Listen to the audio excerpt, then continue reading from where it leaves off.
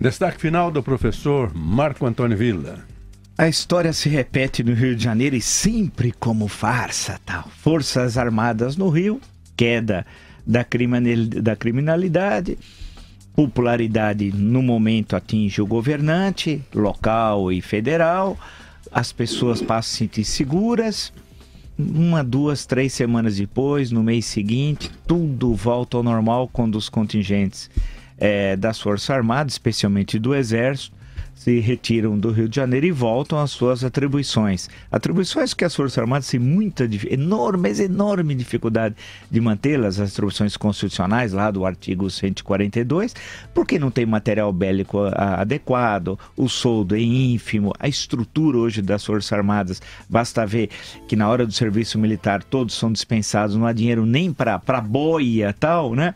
E também porque não há uma política de defesa nacional estabelecida no Brasil. Quer dizer, aquelas atribuições, especialmente da segurança nacional, do controle das fronteiras, não são cumpridas e não são cumpridas não por falta de disposição, por desinteresse das Forças Armadas, mas que não, não foram construídas condições adequadas para tal. Então, as fronteiras, e o Brasil tem a terceira maior fronteira do mundo, né, como é sabido, ah, estão abandonadas. Então, é possível ali o tráfico de pessoas, circulação livre de pessoas entrando, pode entrar terrorista no Brasil sem nenhum problema, a circulação de armas, contrabando de todas as espécies, drogas, que não há controle. Mas elas são utilizadas com poder de polícia, né, para se consegue enfrentar a criminalidade no Rio de Janeiro. Quando a questão do Rio não passa pelas Forças Armadas na cidade do Rio de Janeiro, na cidade do Rio passa por um trabalho de inteligência para enfrentar a corrupção na, na Polícia Militar, na Polícia Civil e nos três poderes do Estado do Rio de Janeiro, judiciário, legislativo, executivo,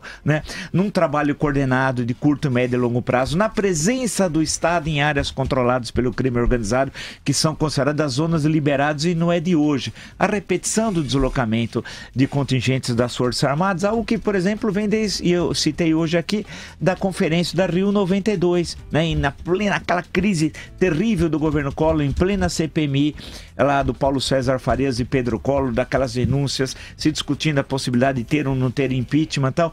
Teve a reunião do Rio de Janeiro, a, naquele momento a maior reunião de chefe de Estado, com o maior número de chefes de Estado na história da humanidade e tal. E nada ocorreu, com a presença das Forças Armadas. Em outros eventos internacionais, isso repetiu. Em outras situações, e que elas foram deslocadas pela cidade também. Porém, o problema voltou e voltou em escala muito superior do que no momento da intervenção das Forças Armadas. Por quê? Porque não é enfrentada a questão, não há a presença do Estado, né, educação, saúde, em áreas controladas pelo tráfico, a presença policial e a presença das Forças Armadas onde elas são necessárias. Volto a dizer, na região fronteiriça. Portanto, o que está ocorrendo agora no Rio de Janeiro, Rio de Janeiro é mais uma farsa de um presidente incapaz, acusado de corrupção e que usa das Forças Armadas para preservar o seu mandato. Um presidente que, no exercício da função, pela primeira vez na na história é acusado de corrupção passiva.